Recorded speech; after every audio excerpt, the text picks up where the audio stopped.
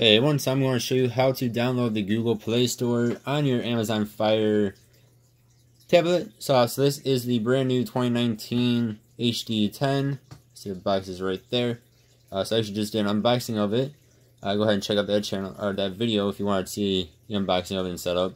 Uh, so first thing you gotta do to download the Google Play Store is go to settings, and then we will go to security and I hit the wrong one. Uh, security and privacy there. Alright, and then we will go down to, see if we can, see if we can find it here. Uh, apps from unknown sources. Hit that guy. Let it load. Let's see, so you say allow from this source. And we can go back. Not sure that one will do. Okay.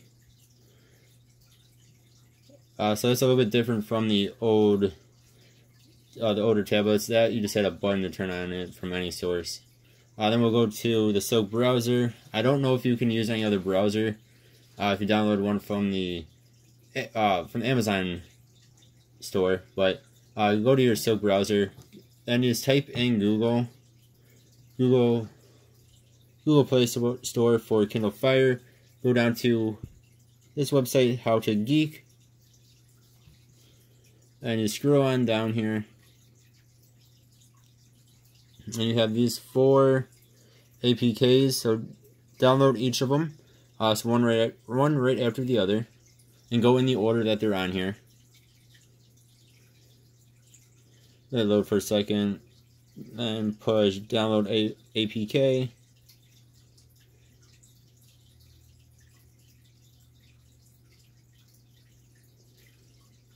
And we will allow that. And we'll hit OK here. And you see down there, it downloaded it. Hit the X. Go to Framework. And let, down, let it load for a second there. Download again.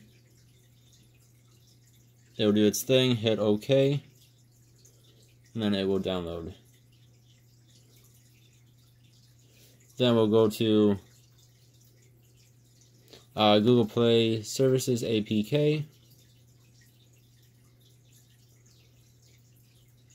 Load that we're not hitting something else with your finger. Uh, download APK. Okay. This one takes a little bit longer to download. Then we're good.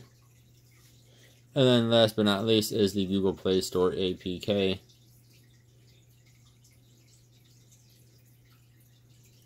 Download.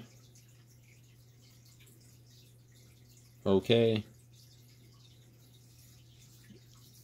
And I'm just going to exit from that again. Alright, then you can get out of this. I'm just going to push the home button there. And then we will go to Docs. And all right, I want to make sure you hit the right ones. So what I always do is just go off of the time. So you can see I have 157, 157, 158, 158. So it should be this first one. You want to make sure you do these in order. Uh, that way it doesn't mess anything up. So hit it. Okay, I'm going to have to go to settings on this new one. So we'll go to settings. And we'll push allow from the source and then we'll go back. So again, this is a little bit different on this new tablet than it was on the old ones. Old one, you just went to that unknown source, pushed OK for everything, and it did it. Uh, but the new guy is not as simple, I guess. It still isn't hard to do, though. And hit install. There you go. See app installed. Done. Go up to here. Push install. Done. And just make sure you're doing them in order. Install. So it's downloading this stuff pretty fast. Uh, it seems to be a little bit faster than the old tablets were. That's just my thinking. And last but not least, install. Let it do its thing. We're done.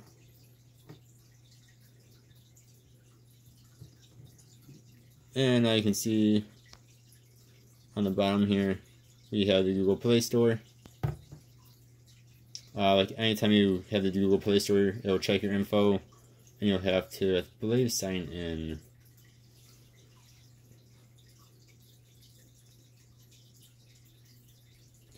Alright, once you sign in and push a few OKs, you now have the Google Play Store. And you can do anything you can do, or download anything you can download from a normal, uh, from like a Samsung tablet or phone or whatever, any Android device. Uh, you can now do it on here, and you shouldn't have any issues.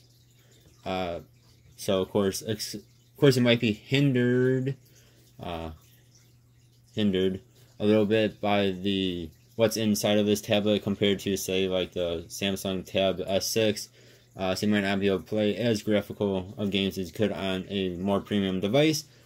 But for 150 bucks, uh, this is a pretty sweet tablet, and you can should be able to do most things on here. I'm personally going to download YouTube right away.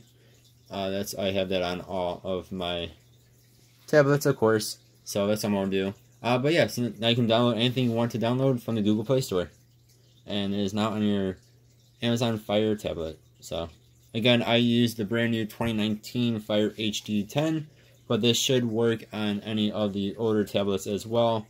I've downloaded it on my, uh, say, I think I had a 2016 8-inch Amazon. I download downloaded it on. I have it on two of the 7 inches uh, the new 7 inch one, and one that was a couple of years old as well. Uh, then before that, I had it on the 2015 7 inch as well. So it should work. My point here is that it should work on any of these Fire tablets. So, alright guys, hopefully this was helpful.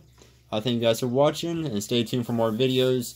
I will be doing a comparison between this guy and the 2017 HD10, and quite possibly I might do comparison between this guy and the iPad 2018 uh, 9 Pro version. Uh, do some real world testing between them, comparison between them. Thank you guys for watching. Hope you guys have a good one. See y'all next time. Goodbye.